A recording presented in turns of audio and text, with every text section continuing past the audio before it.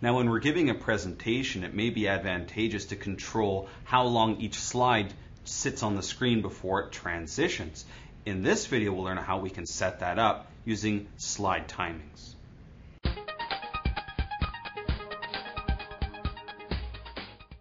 There's a few ways I can control the timing for my slides. Here I have my simple three slide presentation. And if I go to the transitions tab here on the ribbon, look on the right hand side, I have this little area here called advanced slide. This controls when the slide goes from this slide to the next slide. By default, it's set to on mouse click. You can see that's checked on, which means if I preview my show by pressing F5 here, it waits for me to click my mouse before it goes on to the next slide. I'm just going to press escape here. And that's normal. But let's say I want it to transition after just two seconds of sitting on the screen. Well, I can uncheck on mouse click and check on the after feature here and set it to the duration that I want PowerPoint to wait before it goes on to the next slide. So I'll set it to two seconds and I'll go and preview my show here and uh, it'll go to my first slide, wait for a couple seconds, and there it goes on to the next slide. You can see on this slide here, it's just waiting. It's waiting again for me to click my mouse.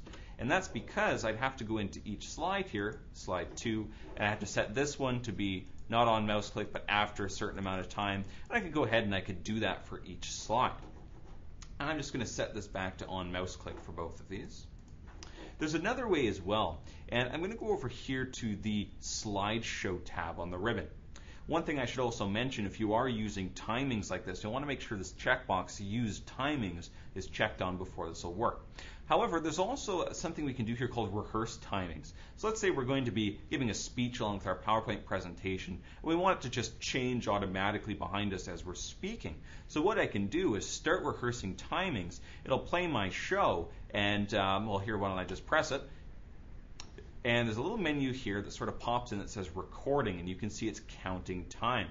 And here it's waiting six seconds, seven seconds, so I can go ahead and keep talking. And when I'm ready to go on to my next slide, I'm going to go ahead and press the next button here. That'll transition to the next slide and restart my counter, and I can go ahead and keep giving my presentation. If I need to pause for a second, I can press the pause button, and you can see my box comes up here saying recording paused. If I need to resume, I can resume my recording. Go on to my next slide here when I'm ready, Again, I can see the slider goes ahead and recounts itself. And I'm going to go to the next slide, and that'll go ahead and finish up. And it says here the total time for the slideshow was 27 seconds. Do you want to keep the new slide timings to use when you view the slideshow?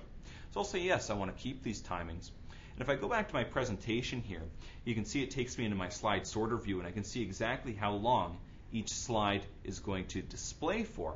And if I go ahead and press F5 to preview my show, I can go ahead and I can start giving my speech, saying what I need to say, and the slides are automatically going to transition after that amount of time. This one I think was set to 13 seconds, so it may take a bit here before it actually transitions. There it goes, goes on to my next one, so on and so forth.